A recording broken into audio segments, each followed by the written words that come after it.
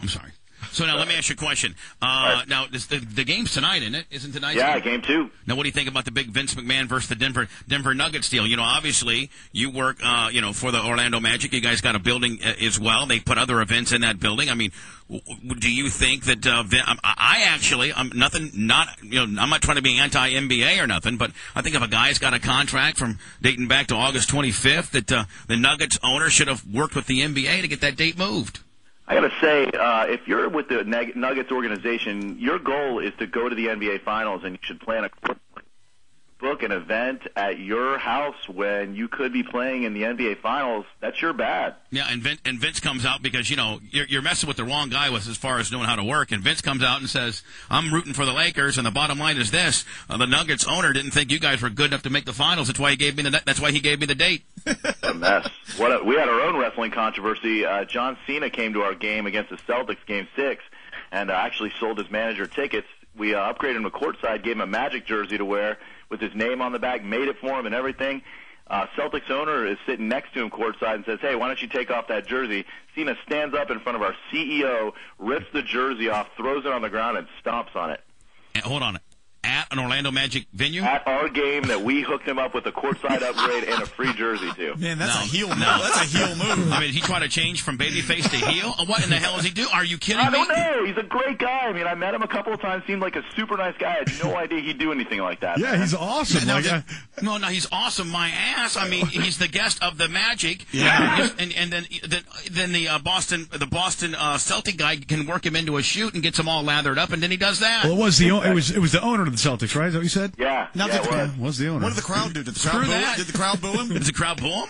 Yeah, absolutely. They had- We had it on the jumbotron while he was doing it. We didn't know what was going to go on, and then he tears off the jersey, throws it on the ground, and stomps on it. My phone starts blowing up. Oh my God. Man, that, that Celtics owner must have move. that Celtics owner must have promised him some goodies, dude. Well, I mean, but Yeah. but the bottom line is he doesn't live. He lives in Tampa, Florida, and would you know the nearest NBA franchise would be Orlando. So that's his you know that's his team. Well, he's from Or- Massachusetts. I understand he's from Massachusetts, but still, Well, there you go. If, he, if he's if he's from you know Massachusetts, that explains it. I know. But you're the guest of the Magic. They're the that- ones. that's- They're the ones that you know took care of you.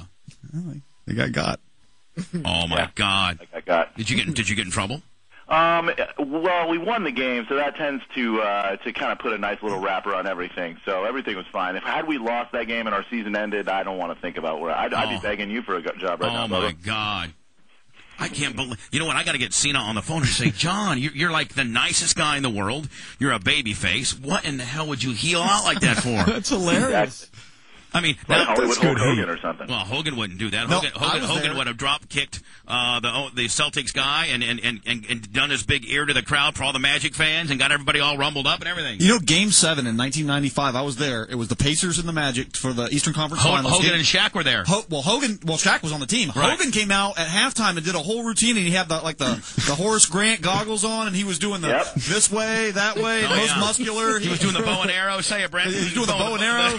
he, he, he, but he put the Magic over. Hogan went out there and, and, and well, Hogan knows how to. Hogan knows how to work. He put, he Exactly. put the Magic over. Oh, Now, see, now if you're in the Boston Garden, Brent, you do that. You- Right. You, know, you do that all day. But if you're if you're in you know if you're in their house, you don't do that. I mean, it's the biggest heel heel move of Oh all. man, C- Cena's got moxie. And you know, Oh. that's like you know oh. Spike Lee is because the Knicks fans are mad at him. He's out of the Lakers, sitting courtside, marking out the Kobe, but he's not wearing his Knicks gear, being a guest of the Lakers. See, what he should have done is he should have gone out there and had a Boston had a Boston Celtics globe a Boston Celtics jersey on, but underneath it have a Magic deal, and then got up. And and, and told the ba- a Boston Magic guy you can't see uh, the Boston uh, Celtics guy you can't see me and then ripped off his Celtic gimmick and there's a big Magic there the whole crowd would have popped how huge would that have been? There would have been 17,000 new John Cena fans. yeah Oh yeah, yeah I mean, he really just meanwhile turned heel. but, uh, meanwhile Brent you know nobody in Boston cares because he didn't live there anymore and they're not in the finals Yeah, they I mean lost. they didn't make the Eastern Conference Finals the te- you know his hometown team that he shot an angle on made the finals and he looks like a he looks like a dumbass Exactly. so you see it my way don't you Drew I totally do, man. I'm glad you see it mine too. I mean, I I, I could not believe it. so now now you know with season ticket